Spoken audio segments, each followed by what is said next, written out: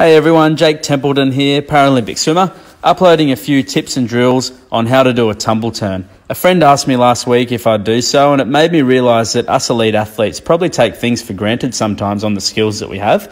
Um, but trust me, it's pretty daunting to start with if you can't do a tumble turn. By spending a few minutes on it each time you're in the pool, you'll improve your quality of swimming and you'll get very, very good at it quite quickly. So you can start by just doing a few somersaults to familiarise yourself in the water.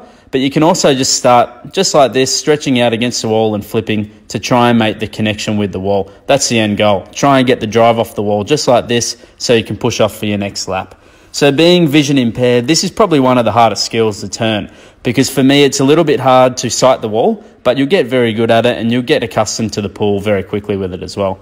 So the second drill, start with a bit of momentum, dive into the wall and do the flip and try and make that connection. You might miss a few times, you might be too close, but you'll work it out with that proprioception of where your body is in relation to the wall.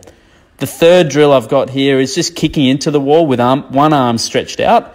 It's a little bit closer to the movement you'll experience in swimming and just pulling through and trying to click onto the wall there.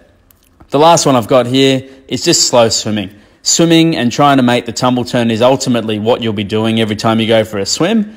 And then once, once you master all that, you'll be able to do it at speed. Thanks, guys.